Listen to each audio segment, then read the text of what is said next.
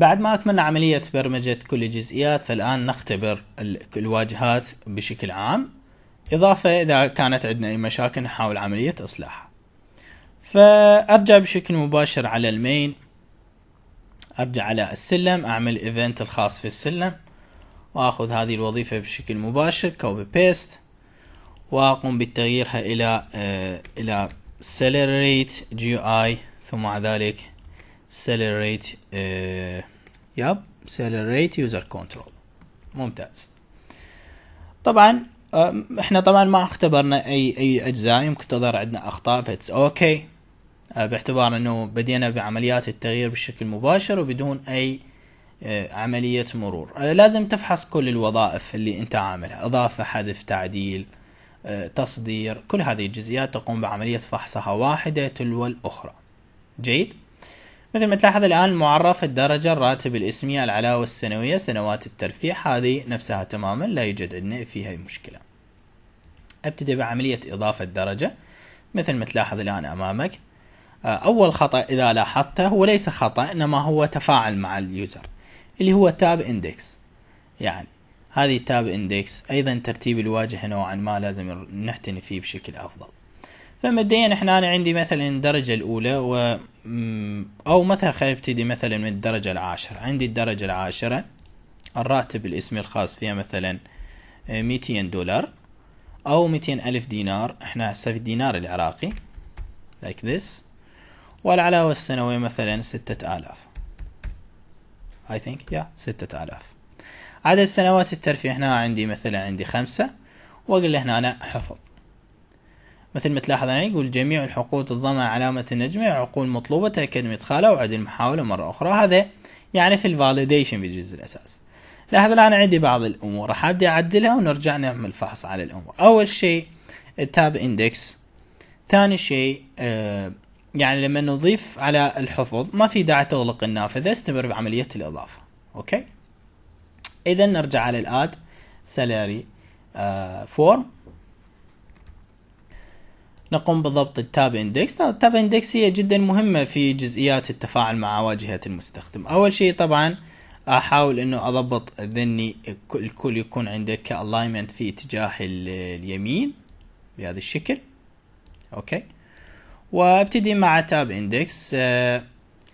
tab index شوف هذه عندك tab index المفروض تكون عندك zero. وهذه tab index المفروض تكون عندك واحد. وهذه عندك اثنين ثلاثة ثم حفظ أربعة. هذه النقطة الأولى. لأثناء الحفظ عندك ال validation okay؟ ال validation طبعا مبدئيا ما في عندنا حاليا validation okay؟ فبالتالي يمكن إنه دائما أنت ترجع إيش؟ ترجع true فقط هذا الجزء اللي أنت تحتاجه. ف it's okay يعني هو valid في الجزء الاساسي okay آم ترجع مرة أخرى. ف it's okay هو valid الآن ما راح تبي يظهر لنا الخصائص. آه ال validation بنفس الوقت سواء كان عندك add or edit أو على مستوى فقط ال add. إذا كان عندك إضافة المفروض تستمر بالإضافة. يعني يعني إيش هذا الكلام؟ يعني أنا عندي add ما بعد الإضافة إيش أعمل؟ أعمل close أبدي بحذف ال close أستمر في عملية إضافة السلم بدل إنه أغلق الواجهة على المستخدم. هذا راح تتيح له عملية سرعة في العمل. okay؟ خلينا الآن نشوف هذه العملية نضيف البيانات نضيف بيانات السلم ونشوف هذه العملية. okay فخلينا نبتدي في سلم جدا بسيط حتى يكون واضح بالنسبة لنا. أبتدي نفترض إن إحنا عندنا السلم اللي هو عشرة. نبتدي مع العشرة. الراتب الإسمي آه، مية ألف. والعلاوة السنوية تكون عندك مثلا أربعة آلاف. عدد السنوات الترفيع هي خمس سنوات ومع ذلك حفظ. تمت عملية الإضافة. هذا مثل ما ذكرت لك أنه أنت ما تحتاج إلى غلق هذه النافذة. تستمر بعملية الإضافة. أوكي؟ لأن راح تبدي تقلل. الدرجة تسعة. الراتب الاسمي مثلا يكون عندك آه، آه، مثلا مية وخمسون ألف أو يا أوكي آه، مية وخمسون ألف أو ليكون عندك ميتين ألف. العلاوة السنوية خمسة آلاف أو أربعة آلاف ما في عندي مشكلة. وعدد السنوات نفسها ثم ذلك حفظ. الآن okay يعني يعمل عندك. أه، حاول إنه مثلا نفترض المستخدم هنا في الراتب الاسمي أدخل قيمة أدخل قيمة نصية. يعني مثلا أدخل بهذا الشكل. فلو تلاحظ إنه أثناء الخروج يجي هنا أنا أقوم بإدخال قيمة رقمية فقط. يعني نفترض الآن مثلا أدخل عندك خمسة خمسة بهذا الشكل رقم وأضاف حرف S بالأخير. يعني ليس متعمدا.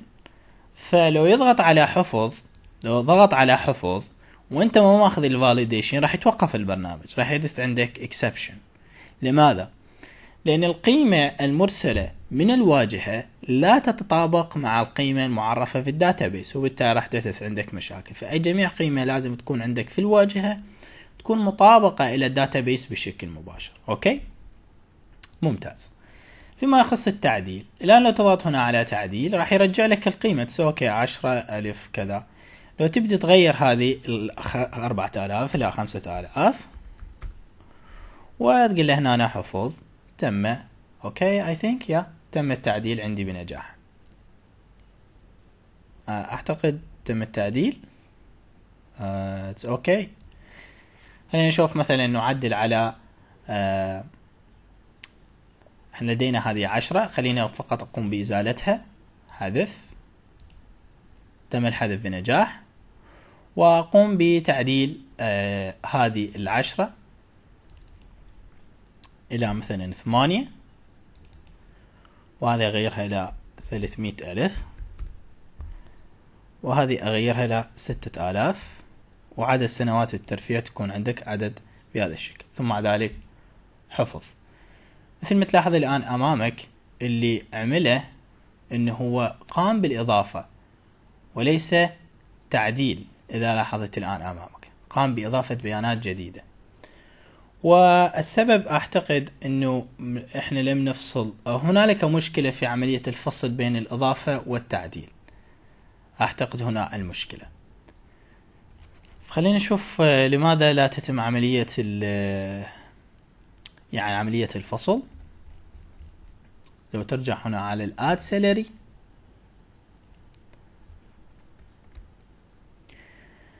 أو لو تلاحظ الآن إحنا بينعرض عندنا رسالة تم التعديل معنى ذلك ده يفصل. ولكن المشكلة أين؟ المشكلة لازم تعرف إنه إحنا لما لا نعطي ال ID في ال class يعني في في ال fill بالنسبة للبيانات آه ونقوم بإسناد وظيفة تعديل إيش تعمل هذه الوظيفة؟ تقوم بالإضافة وليس التعديل. لأن يعني ما في عندها ID تعدل عليه فالمشكلة اين؟ المشكلة تكون في إسناد البيانات يعني إيش؟ لو تلاحظ عندك هذه البيانات آه، فيها خطأ إحنا الآن بدنا نسند البيانات ولكن لم نسند ال ID طيب هل هنالك مشكلة؟ نعم هنالك مشكلة لما تقوم بإرسال البيانات إلى وظيفة ال edit لهذا ال salary rate بدون إسناد ال ID فإيش تعمل هذه الوظيفة؟ هذه الوظيفة إيش راح تبدي تعمل؟ هذه الوظيفة راح تباشر في عملية الإضافة بدلا للتعديل لا تعطيك خطأ. تباشر في عملية الإضافة. طبعا هذا الجزء كان في النسخ الحديثة من ال Entity Framework فبدل إنه أنت تعمل وظيفتين إضافة وتعديل تعمل وظيفة واحدة اللي هي add or edit add or edit إضافة أو تعديل. فإضافة إذا ما أسندت ID يأخذ الإضافة. وإذا أسندت ID راح يبدي يعمل لك تعديل. فبالتالي بكل بساطة راح أبدأ أقول له إنه ال ID هو يساوي عندي ال ID. خلينا نبدي نعمل run ونشوف هذا الكلام. أذهب هنا بشكل مباشر على السلم. أقوم بإزالة هذه الثمانية. أقوم بإزالتها بهذا الشكل. وأقوم بتعديل هذه العشرة. أعدل فقط مثلا سنوات الترفيه أعدلها إلى ستة. ومع ذلك حفظ لو تلاحظ تم التعديل عندي بنجاح. um, يا سو إضافة تعديل حذف كلها تشتغل عندي. فقط أتأكد من التصدير. خلينا نصدر الموجود في الشبكة. Anything. طبعا دائما أحرص على الاختبار لهذه الجزئيات. اذا هذه عندي البيانات. تم تصديرها عندي بنجاح وبدون أي مشاكل. okay مثل ما تلاحظ تم تصدير عندي البيانات وبدون مشاكل. أكيد إنه وظيفة ال... وظيفة التصدير الكل أيضا تعمل عندي. بما يخص البحث أيضا أحتاج أن أعمل check عليه. مثلا أبحث فقط على تسعة. لو تلاحظ تم البحث عندي بنجاح.